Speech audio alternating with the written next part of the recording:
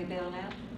No, no, actually, gonna fall on us, because we realized we just got past the, uh, we were so late, it took so long to get a public service commission. But there are those, that we, there are some legislators out there that are really paying attention. Any in our area?